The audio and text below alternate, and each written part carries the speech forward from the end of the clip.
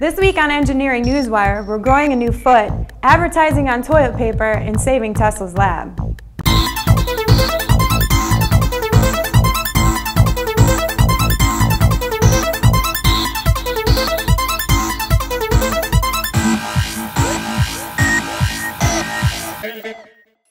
Advertising is officially inescapable as startup firm Star Toilet has begun littering our precious rolls of toilet paper with Calvin Klein models filling their pockets with ad dollars as others fill their porcelain thrones. New York brothers Brian and Jordan Silverman intend for their two-ply concept available with scannable QR codes to show up in public bathrooms in restaurants, offices, and stadiums. The paper is made from 100% recycled materials, and an Illinois company prints the ads using a soybean-based ink that is said to be safe for both users and septic systems. Hopefully, for the sake of us all, that ink doesn't run. Nikola Tesla's Wardenclyffe lab was recently threatened with permanent closure, but thanks to overwhelming underground support, Friends of Science East has raised well over $1 million to buy and restore this historic engineering landmark. Have you heard of Nikola Tesla? Of course you have, you're engineers. You know, the creator of the induction motor, the father of alternating current, Tesla. This guy is probably the most underrated engineer of all time. But why? Well, it has to do with the American dream. We seem to prize business sense over innovation, capital gain over societal advantages. Don't get me wrong, knowing how to handle your cash flow and having an intelligent CEO is important. It keeps all of us employed, doesn't it? But where is the line from production to innovation, profits to progress? When you have money without innovation, we stop progressing. Tesla had several inventions that never went into production because they were deemed unprofitable or bad for business. But if he had been allowed to innovate, we may very well have had free power and a train that could travel the circumference of the earth in a matter of hours. It's a fine line to walk, but we need to remember that money is only worth the value we give it, while the need for progress far exceeds anybody's bank account. After bone cancer took the second half of his left leg, CJ Howard went on to set amputee world records in the half marathon. In 2008, he met engineer Mandy Ott, who introduced Howard to rock climbing, which was easier on his stump than running.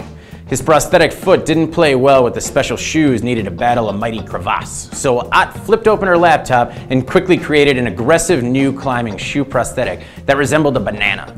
Using direct metal laser sintering, Howard's new foot was grown in 20 micron layers using commercial grade titanium powder to make his new limb lightweight and super strong. Quick, cut something off!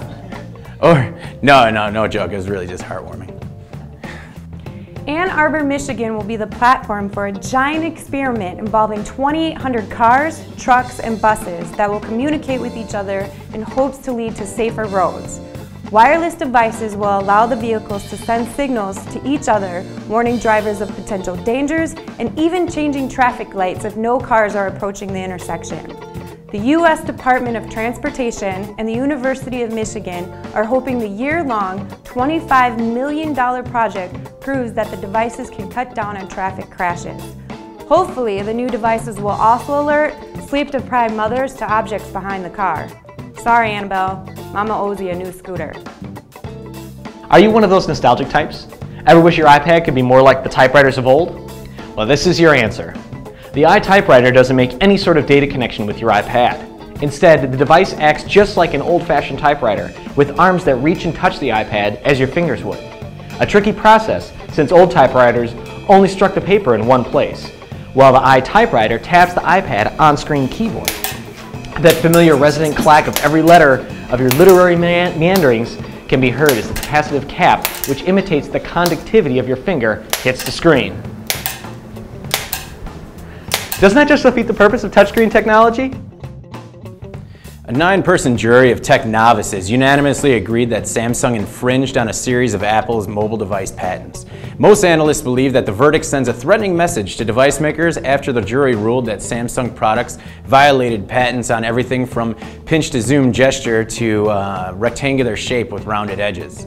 The damages present less than 2% of Samsung's annual revenue, but instead of cutting a check and parting ways, the company is ready to appeal the decision all the way up to the US Supreme Court. Forget the 11 other patents, Apple just laid claim to an entire shape. For PD&D TV, I'm Megan Zimba, and this has been your Engineering Newswire. Checkmate, Hal.